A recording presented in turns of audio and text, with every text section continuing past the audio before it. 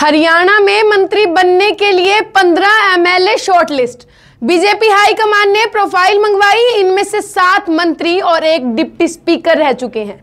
नमस्कार, आप देख रहे हैं द लोकल न्यूज़ मैं हनीश शर्मा, आज आपको बताऊँगी हरियाणा में। मंत्री बनने के लिए वो कौन से 15 एमएलए हैं जो शॉर्टलिस्ट किए गए हैं, जिनकी प्रोफ़ाइल मंगवाई गई है?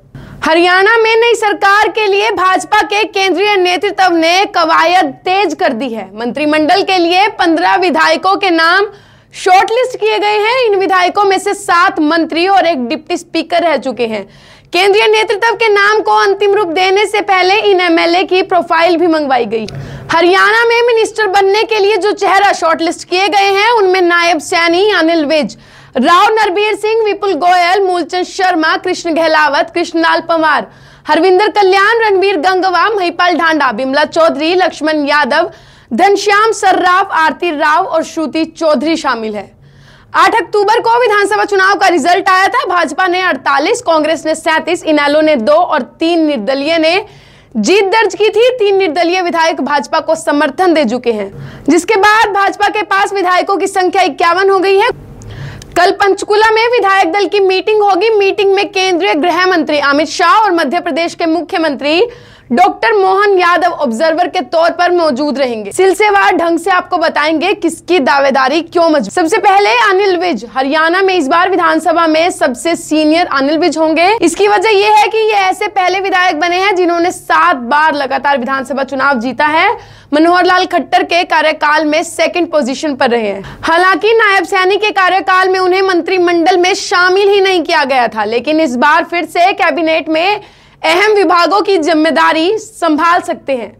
पार्टी यदि डिप्टी सीएम फॉर्मूला लाती है तो विज को डिप्टी सीएम भी बनाया जा सकता है। अनिल विज पंजाबी समुदाय से आते हैं। नंबर दो पर आते हैं, अरविंदर कल्याण। ये रोड समाज से आते हैं। प्रदेश की घरौंडा सीट से इन्होंने जीत दर्ज की है। 2019 में भी चुनाव जीतकर विधानसभा पहुँचे थे, लेकिन मंत्रिमंडल में शामिल नहीं किया गया था। मनोहर लाल खट्टर के बाद नायब सैनी के कार्यकाल में भी मंत्रिमंडल में शामिल नहीं हो पाए थे। इस बार इस समाज को बीजेपी नई सरकार में प्रतिनिधित्व देना चाहती है।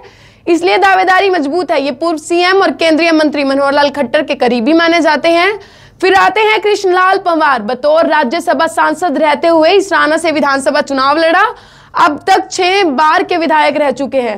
इससे पहले अनिल विज सात बार के विधायक बन चुके हैं। दलित समाज से ये आते हैं। इस चुनाव में दलितों के समर्थन मिलने के बाद बीजेपी में पंवार की मज़बूत दावेदारी है। इसके साथ ही पूर्व सीएम मनोहर लाल खट्टर भी इनके काफ़ी करीबी हैं। फिर आती है आरती राव। राव इंद्रजीत सिंह की बेटी आरती राव ने अटेली से चुनाव जीता है। पिछले तीन चुनाव में अटेली में भाजपा उम्मीदवार ही चुनाव जीतते आ रहे हैं। इलाके में खुद के प्रभाव के चलते ही राव इंद्रजीत सिंह ने बेटी को टिकट दिलाया, ऐसे में आरती राव को मंत्रिमंडल में शामिल कराकर राव इंद्रजीत महेंद्रगढ़ ज़िले को मज़बूत करने की कोशिश कर सकते हैं। फिर आते हैं विपुल गोयल, ये वैश्य समुदाय से आते हैं। 2014 में चुनाव जीतकर कैबिनेट मंत्री रह चुके हैं। हालाँकि फरीदाबाद सांसद कृष्ण पाल गुज्जर के मतभेदों के कारण टिकट काट दिया गया था। इस बार सीधी हाईकमान में पकड़ होने के कारण इनको टिकट मिला। इसके साथ ही नए मंत्रिमंडल में इसी कारण से कैबिनेट मंत्री के रूप में मज़बूत दावेदार बने हुए फिर आते हैं महिपाल ढांडा, पानीपत ग्रामीण से विधायक बने हैं। पार्टी का बड़ा जाट चेहरा। बनकर उभरे हैं नायब सिंह सैनी। सीएम बनाए जाने के बाद डांडा को राज्य मंत्री बनाया गया था। अपने छोटे से कार्यकाल में काफ़ी एक्टिव दिखाई दिए थे, जिसके बाद भाजपा ने इन्हें तीसरी बार फिर से टिकट दिया था।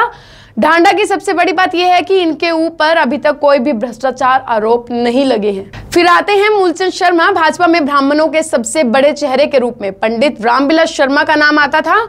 लेकिन 2019 में उनके चुनाव हारने के बाद उनके ही रिश्तेदार वल्लभगढ़ से विधायक मूलचंद शर्मा को मनोहर लाल खट्टर के दूसरे टर्म में परिवहन मंत्री बनाया गया। मूलचंद शर्मा लगातार तीसरी बार इस सीट से विधायक बन चुके हैं। पाँच साल मंत्री रहने के दौरान उनकी परफॉर्मेंस ठीक रही, जिसकी वजह से इस बार भी कैबिनेट मंत्री पद के दावेदार है। उनकी दावेदारी की दूसरी बड़ी वजह इस बार के चुनाव में ब्राह्मण वोटर्स का एक तरफा झुकाव भाजपा की तरफ़ रहना भी है। फिर आते हैं कृष्णा गहलावत, राय विधानसभा सीट पर कृष्णा गहलावत ने जीत दर्ज की है। ये सीट पूर्व सीएम भूपेंद्र सिंह हुड्डा का गढ़ मानी जाती है। जाट समुदाय से आने वाले कृष्ण गहलावत उन्नीस सौ छियानवे में बंसीलाल सरकार में मंत्री रह चुके हैं। भाजपा सोनीपत, रोहतक और झज्जर की जाट बेल्ट में अपना आधार बढ़ाने के लिए उन्हें कैबिनेट में जगह दे सकती। फिर आती है श्रुति चौधरी, तोशम विधानसभा सीट पर भाजपा से श्रुति चौधरी ने जीत दर्ज की है। इस सीट पर उनका मुकाबला अपने चचेरे भाई अनिरुद्ध चौधरी से था। भिवानी महेंद्रगढ़ सीट से सांसद रही श्रुति चौधरी को लोकसभा चुनाव में कांग्रेस से टिकट नहीं मिला था। इसके बाद वे अपनी माँ किरण चौधरी के साथ बीजेपी में शामिल हो गई। तो शाम पर बंसीलाल परिवार का खासा प्रभाव रहा है। इससे पहले किरण चौधरी इस सीट से लगातार जीत हासिल करती रही है। उन्हें अब राज्यसभा भेज दिया गया है। ऐसे में श्रुति चौधरी कैबिनेट में मंत्री पद के मज़बूत दावेदारी मानी जा रही है। फिर आते हैं रणबीर गंगवा, संसदीय मामलों में कुछ अच्छे जानकार है। मनोहर लाल खट्टर और नायब सैनी की सरकार में डिप्टी स्पीकर भी रह चुके हैं। गंगवा इस बार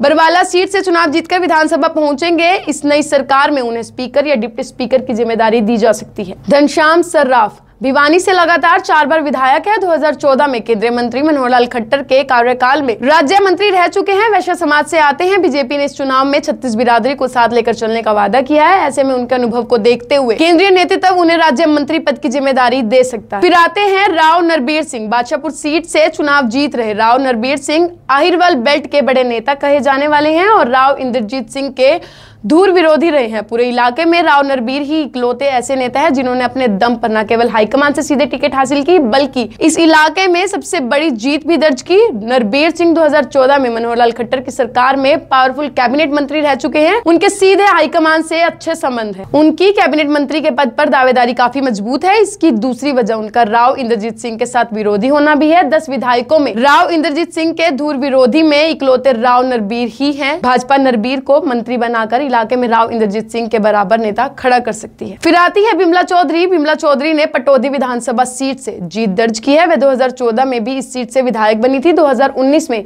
भाजपा ने उनका टिकट काट दिया था। वे राव इंद्रजीत सिंह की करीबी है। बिमला चौधरी की दावेदारी इसलिए भी मज़बूत है क्योंकि वह जातीय संतुलन के हिसाब से राव इंद्रजीत सिंह के कोटे में वह फिट बैठती हैं। इसके अलावा उन्हें विधायक रहते हुए प्रशासनिक अनुभव भी है। फिर आते हैं लक्ष्मण यादव, वे रेवाड़ी सीट से चुनाव जीते हैं। वे 2019 में कोसली से विधायक चुने गए हैं। राव इंद्रजीत सिंह और संगठन दोनों की पसंद की वजह से उन्हें टिकट मिला है। आहिरवाल इलाके में यादवों की वोट एक तरफा से एक तरफा भाजपा के पक्ष में पड़ा। 2019 में भले ही रेवाड़ी सीट पर भाजपा जीत दर्ज नहीं कर पाई, लेकिन 2014 में यहाँ पहली बार कमल खिला था। आहिरवाल बेल्ट की राजधानी कहे जाने वाले रेवाड़ी को पिछले दस सालों में मंत्री पद नहीं मिल पाया। ऐसे में लक्ष्मण सिंह यादव के नाम पर राव इंद्रजीत सिंह भी सहमति जता सकते हैं। खैर आपका हरियाणा सरकार में बनने वाले नए मंत्रिमंडल को लेकर क्या कुछ कहना है? कमेंट्स में लिखकर ज़रूर बताइए। अपने, विचार हमसे ज़रूर साझा कीजिए और देश दुनिया की पल पल की खबर सबसे पहले जानने के लिए देखते रहिए द लोकल न्यूज़।